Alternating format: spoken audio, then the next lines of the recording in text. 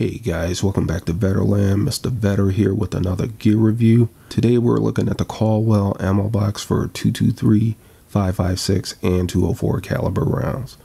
To start, I'm going to give you guys some dimensions and weights as I take you through fit and finish. After, I'll give you guys a close-up look at features of this ammo box, and then we'll wrap things up. Alright guys, let's jump right in. First, we're going to take a look at fit and finish. I'd like to start by giving you guys some dimensions. We're looking at a overall width of 5 inches, a height of 2.5 inches, and a length of 2 and 7 eighths inches long.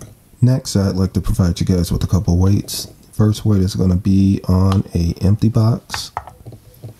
We're looking at 3.5 ounces. And I want to give you guys one more weight. This weight is going to be on a full box.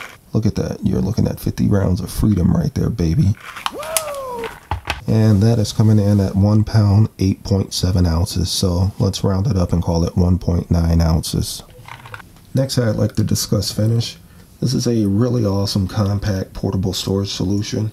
If you look here, everything is nice and tight.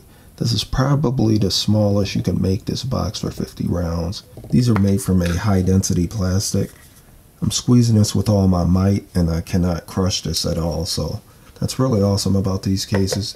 And I love the lid. The lid is very transparent. You could see through these, which is a great way to meter how many rounds you actually have stored in the box. These boxes are stackable and when they stack, they literally kind of lock themselves in place. There are feet on the bottom of these boxes that engages with the top of the box which is really awesome. My final thoughts this is a portable, stackable, and a great storage solution, and all of this comes in at a reasonable price.